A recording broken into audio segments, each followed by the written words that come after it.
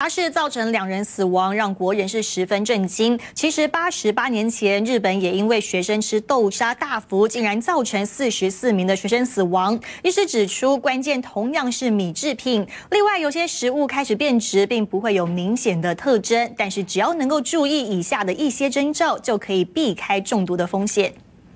软糯饼皮做成的大福，外形 Q 弹可爱。不过，随着宝林茶室食安风暴持续扩大，八十八年前发生在日本静冈县的大福事件也重新被关注。当时，滨松第一中学举行运动会，学生们吃了黑豆沙大福之后，上吐下泻、高烧腹痛，总共有两千一百一十六人中毒，最后酿成四十四人死亡。就连以细菌战部队闻名的日本陆军七三一部队也到现场调查，事后还设立慰灵碑。大福外面有一层粉状的东西，它要是用米。你去研磨的话，那就有可能这种芽孢杆菌来讲，被老鼠爬过了以后，它会形成一个孢子，致死率可以到将近百分之十左右。其实食物开始变质，仍有些蛛丝马迹，只要你会辨认，就可以防止中毒。